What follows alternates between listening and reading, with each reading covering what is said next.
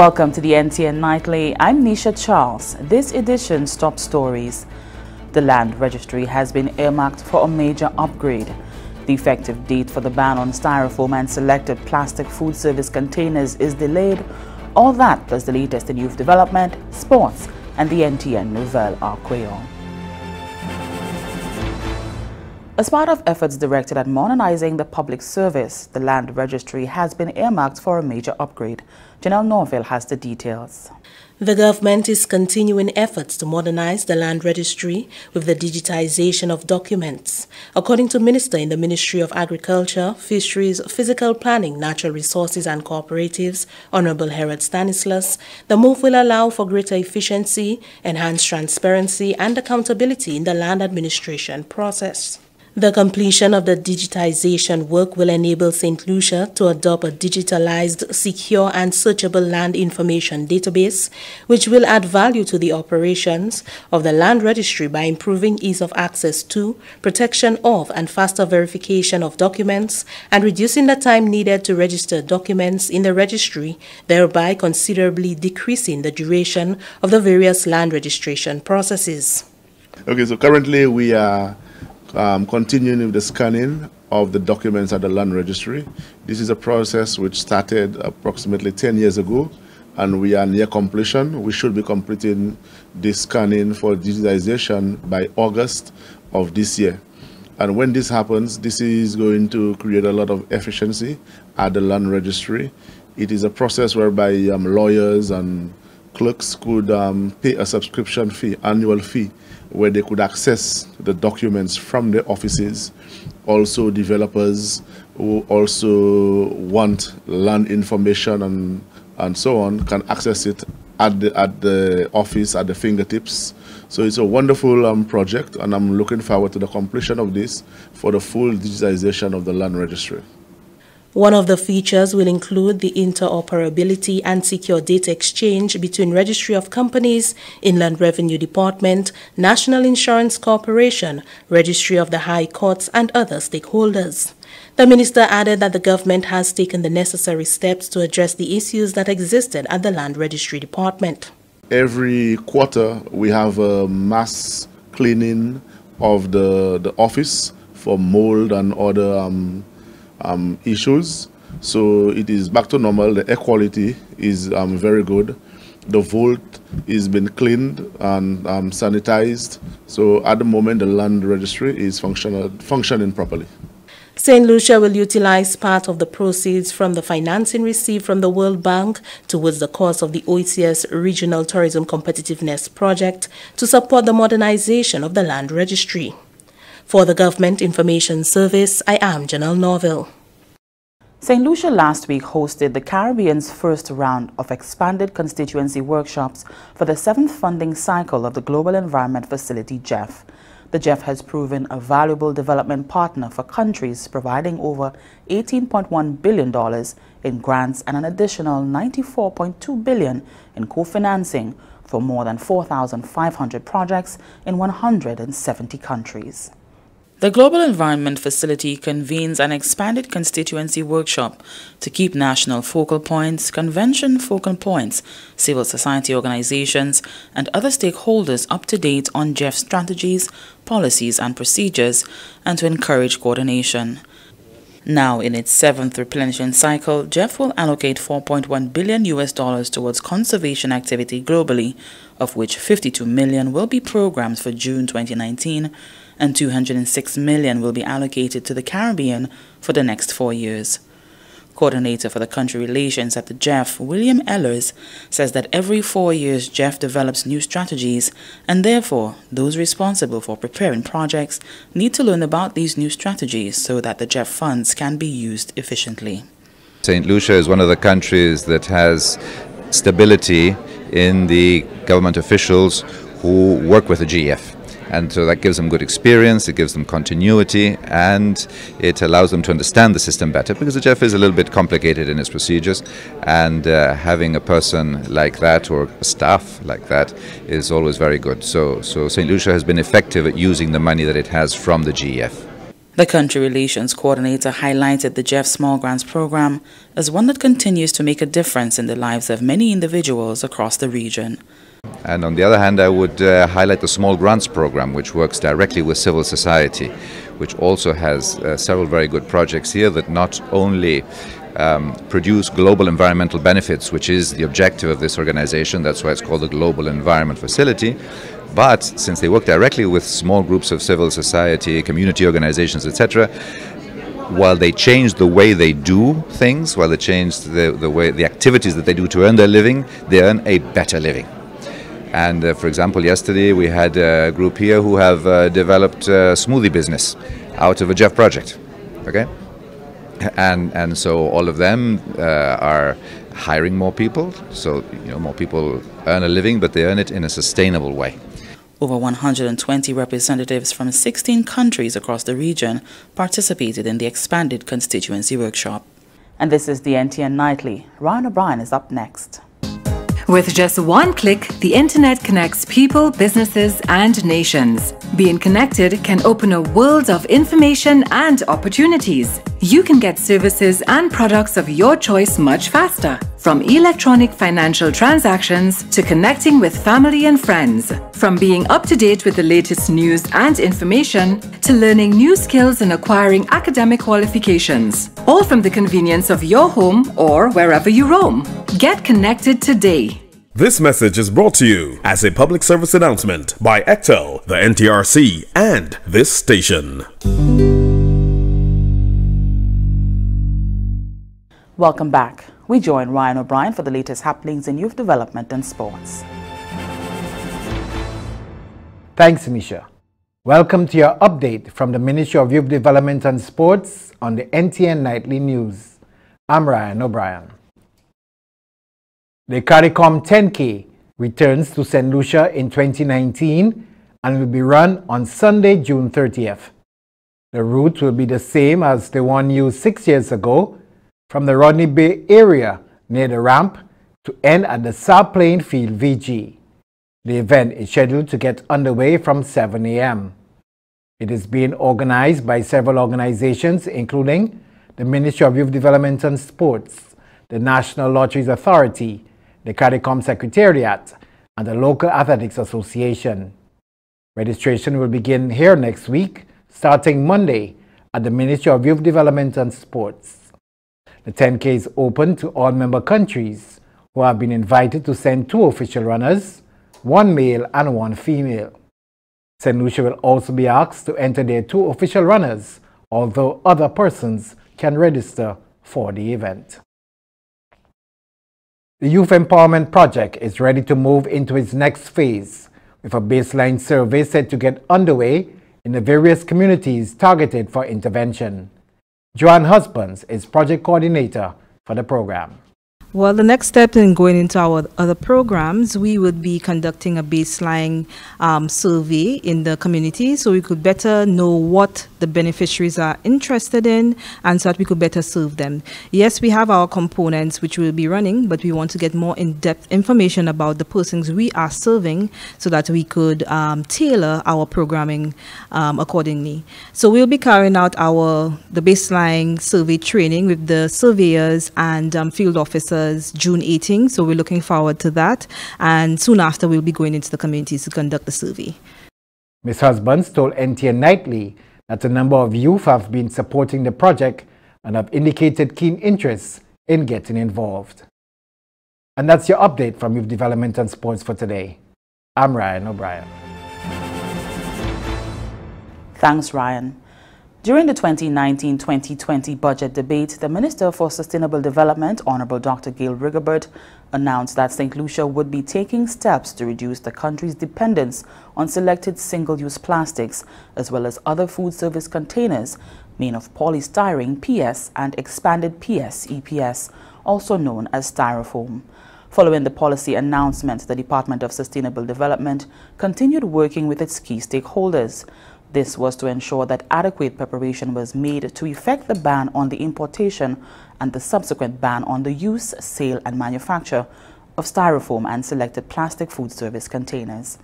Discussions resulted in an agreement to introduce the ban on August 1, 2019 and August 1, 2020, respectively. This means that any styrofoam and selected plastic food service containers arriving in St. Lucia after July 31, 2019 will not be released by the Department of Customs and Excise. Over a 12-month period, the use of these items will be phased out from August 1, 2019 until July 31, 2020. Telecommunications providers operating in the OECS have been applauded for supporting the introduction of number portability in the region. However, the companies have been called upon to do more to ensure that the OECS is not left behind in this technological era. The Director General of the Organization of Eastern Caribbean States has welcomed the introduction of mobile number portability in the member territories of the Eastern Caribbean Telecommunications Authority, ECTEL. Dr. Didacus Jules says the move puts the OECS in line with global standards. However, there is much more to be achieved. This may seem to be a simple thing, but it can be a huge productivity gain for professionals and business people large and small, whose mobile numbers can now be as permanent as your name and go with you anywhere you go. As much as we applaud this launch, we must equally express our deep disappointment that we are still not at the stage of launching fixed line portability, and we call on both Digicel and Flow to end their procrastination and deliver to customers in St. Lucia and the OECS the quality of service and the range of options that they require and deserve. Dr. Jules noted that the Treaty of Basse-Terre caters for free movement of the people, goods, capital, and services, a single economic space to conduct business presenting immense opportunity. Telecommunications is now an essential service that fuels global business and innovation. And if we are to make use of the opportunities that the digital economy provides, the sector must modernize itself and innovate.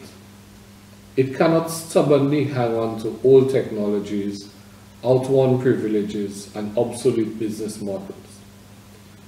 I reiterate the call that has been made consistently for the removal of roaming charges between the OECS countries. We need to roam as you home. Mobile calls between member states of the OECS should cost no more than mobile calls made within your home base. The OECS Director General called for the lowering of mobile data charges and the embracing of over-the-top services by the telecommunications providers. Dr. Jules indicated that the OECS Commission will be working closely with ECTEL in drafting new telecommunications regulations that will demand service quality. The OECS, he says, runs the risk of becoming irrelevant if it fails to modernize. From the Government Information Service, Lisa Joseph reporting. And stay with the NTN Nightly. Up next, Primus Hutchinson is here with the NTN Nouvelle en Kweyol. pwen pokosyon. Ek fè tout sa ou ni pou fè pou sove dlo. Lave bagay sal adan anbe sin dlo, pa kite dlo a koui. Osi, pa kite dlo a koui, lè ou ka chiwe pan. si toilet bol ou ka kole, ou ni pou mette ten an di de bak la. Toilet bol la ka koule si ou ka we koule a de bol la avan ou floch li. An toilet bol ki ka koule ka gaspye a chay glo. Servi a bom pito a hoz pou lave motoka. Le ou ka lave had, servi dlo we se a pou ouze fle ou. Le ou sove dlo, ou ka bese manye a, ou ka servi tepe waman. Sove dlo tout le ou ni an chans. Ek choje tout dlo e pontan. Sa se an komisyon Rod Wasko.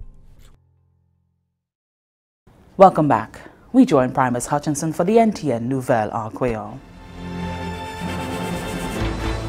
Mese menam nou, Depatman ki ni responsablite pou informasyon an governement sel si GIS, aseme pi Televizyon Nasyonal pi ya NTN, ka prezento Nouvel Akweol, prezento Primus Hutchinson. Gouvernement set lesi, jan make 3 situasyon ki ka afekte proje chimè nasyonal PIA. Osi, se POA, sa vle di lawad, ek se ewe POA osi. 3 se situasyon sa la, se lon gouvernement, se kondisyon, se la plas sa la pa kondyal. Kapasite yo twe limite, ek fason fasilite de koneksyon ki ka plase PIA dan yon posisyon ki twe sensib si yon kayon desas. Alors, plan gouvernement, c'est pour renforcer ces divers bâtissements pays-là, pour ça supporter l'activité économique. Par conséquent, le gouvernement a implémenté un plan de développement pour l'année ici, pour l'année 2000. Ça, c'est 2002, pour adresser 99 km chemin. Quand on a ces façons pour effectivement adresser à toutes les situations, ça là, pour corriger le problème des bâtissements pour l'année 2002. Se Selon menis la ki ni reskonsabilite pou afe de debatisman, oni e wab Stevenson King, yo ka adwese chime an wans pawes, ki ni plis ki yon 100 km alonje lonje, e travay ki ka fet pou kontinualman otipe chime pe ya ka koute 26 milyon dola tou le lane. Sekretè permanent Ivo Daniel di ki pou se lane ki ja pase, se te yo eksersis ki te twe difisil, pour le ministère adresser chemin cette à façon qui était mérité parce que l'argent pété l'argent suffit pour ça pour ça c'est fait et que c'est dommage qu'il a pris été fait pour ce chemin ça là dernière remarque qui majorité ce chemin pays ni brisé attention et que remercier le ministère des finances le membres cabinet et premier ministre Chassenet pour faire available 14 millions de dollars pour poursuivre bonne occupation pour chemin cette Plan jan en plas pou komanse plizye proje de devlopman an sou l'peya ek pou e menis onewab Alen Chasney deklare ki proje chime Saltibus ek jetwin. Se pa selman pou fe la vi moun kom ifo, me osi se yon l'okasyon pou epouve la vi yo. Premier Ministre Chasney anonsè ki lani 3 gwan ba totoris ki kay bati fasilite avye fon ek pa konsekans de sa, kay konseye le rezidant pou wè sa kon yon gwan l'okasyon pou pou l'avantaj devlopman sa la ek pou le turist atwe avye fo an di yo pwen pa soufouye la kay ni ase fasilite ek servis a plas pou ekwaje yo pou weste an sout peyi apito. Bon, 4 milyon dolar ki gouvernement de Republik Chin de Taiwan se yon ki kay vreman simante bo relasyon set setnesi epi Taiwan. Se Ministre des Affaires les Étrangères a Taiwan, Dr. Joseph Wu, ki fè revelasyon sa la. Dr. Wu promet ki Taiwan kay toujou fè tout sa ki posib pou fasilite ek asiste set lisi an nepot fason.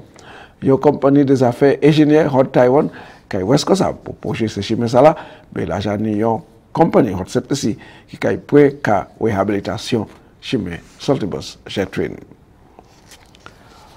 yon devlopman nouvo ka touvey pou telefon mobil aset lesi. Se yon devlopman ki an eksistans depi se l ane 1990 la, an plezir lot peyi karib la ek otorite pou afer telekomunikasyon pou se tip peyi karib la, sa se ek tel asen bepi estetit nasyonal pou wegle telekomunikasyon ka travay epi se kompani ki ka potiwe se servis mobil aset lesi. A fason pou ofer yon servis pou tout mamek tel. Pou e se sa la, yo proje pou etabli limo potab touvey an operasyon a Dominik, la Grenade, Saint-Kitts-Nevis, Sevesa, ek setlesi. Plizye go gwek te prezant apam yo representatif kompany telekomunikasyon Flo ek Digicel. Yo te pale di l'avantaj la servis sa la kapote a ki fason yi kay chanje la vi se pratik la ek kay yi prezante osi yon chwa a ki servis yon simye ki me pwi ki avelab.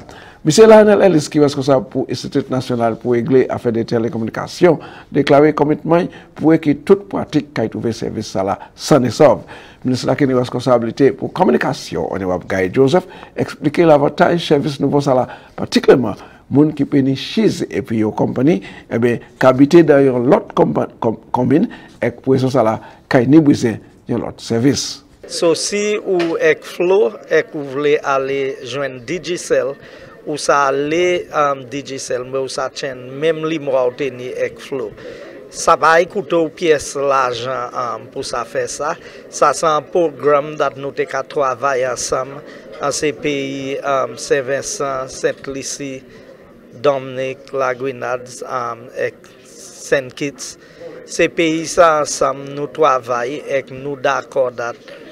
Nou kayme bagay an plas. Dat si yon moun vle kite yon kompany ek ale an lot kompany an, i pa kay ped li mouy. I sa chen mem li mou a. Mwen kwe sa san bay ki kay men a chay benefis bay se moun nan. Onem wap, uh, Joseph deklare ki, tout sa se an uh, mem direksyon pou libere servis telekomunikasyon. an ah wijor. Le nou gade euh, um, pozisyon moun customers ou ka jwen moun ki ek yon kompany, ek yo vle kite kompany, me paske yo vle chen li mou yo, yo pas a kite. So nou ka di sa pa liberalize manye nou vle la. Me apwezan, because ou sa kite ek chen menm li mou a, se pli leshan li moun ni pou yo sa fe sa yo vle, manye yo vle. Ek foun yo, ek pou sa di mwen dako ek kompany sa nga yo, sa mwen. Selon Ektel, lakay ni avelab osi servis sa la pou telefon ki moun kachen akay plita alane ya pou tout wijon an karib la osi. Ek, pise medam, sa se kote nou atwa bout nouvel la, mwen ka remesye otan pou gade, mwen ka ba yon invitasyon pou chene pi mwen akor, si diye konseve la vi, lengay prezente walot nouvel akoyol. Apre sa, mwen ka vie prezente ou, nisha.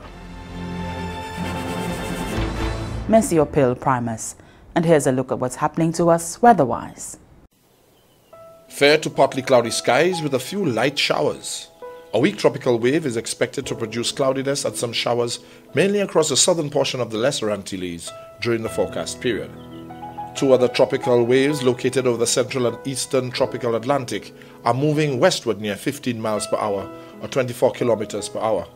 Tropical cyclone formation is not expected over the tropical Atlantic during the next 24 hours.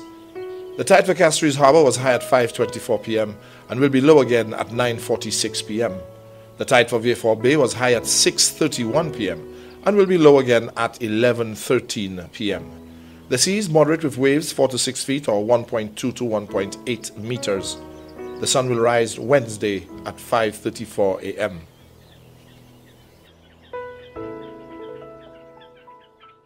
And that brings us to the end of the NTN Nightly. Join us next time at 7 p.m. with a repeat at 7 a.m.